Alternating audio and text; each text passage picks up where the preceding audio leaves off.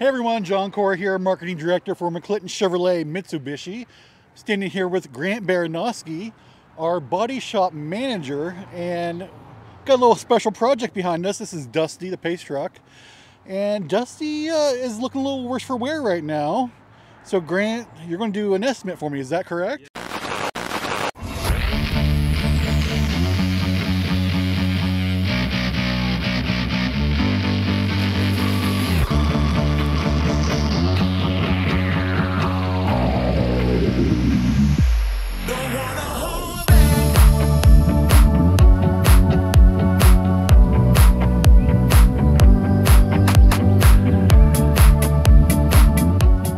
That's correct. So what all is involved in an estimate like this? This is just a bumper, but tell me what all you're going to look for when you do the estimate. Yeah, absolutely. So it is just a bumper, mm -hmm. uh, but there are a couple, you know, steps to this process, removing the part, and uh, you know there may be some disassembly involved with that uh, to to do, you know, take care of that. So um, the first thing we want to do is identify the type of vehicle and um, identify the damage that needs taken care of.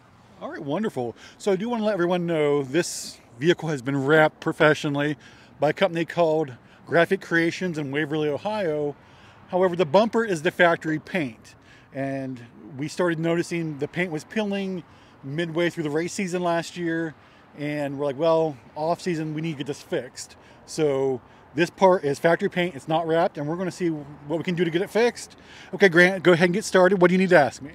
Absolutely. So the first thing we need to do is just take a photo of the VIN label, get the okay. mileage, take some exterior photos of the truck, and uh, we'll get started. Okay, sounds good. So you mentioned earlier you need to know like the, the make and model. Yeah. Of course, it is a 2019 Chevrolet Silverado Trail Boss, and it is part of the fleet here at McClinton Chevrolet Mitsubishi. You may have seen it on track. And Grant is going to see what we can do to get this thing fixed before the season starts on April 24th. So Grant, go ahead and take a look at this real quick with me if you want. What, what stands out to you? Uh, looks like we've got some some paint peeling, maybe some rock chips from the okay, racetrack. Right here, right here. Um, what about that? That looks pretty significant. Yeah, just some paint starting to peel back, so uh, certainly going to need to get that taken care of. Okay, and looks like there's some more over here. Like this, this seems like almost maybe like a factory issue, maybe not necessarily a damage issue. Is that correct? Yeah, maybe maybe factory refinish, or or maybe a, a rock had had accelerated that peeling. Possibly, it is. It's gets kind of rough out there, and the pace truck driver is awful. I just want to say he is one of the worst people on the road.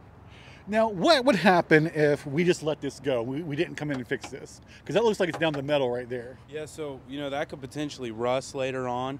Uh, so now is now is the time to get that taken care of. Okay. So if you want to bring your car to McClinton Body Shop and get an estimate, Grant and Curtis, who's actually our, I want to give a shout out to Curtis, who's our camera person right now. I'm not used. You guys are spoiling me. I'm not used to having a camera person. What, what do they need to do? How do they call and get a hold of you guys to schedule a, an estimate?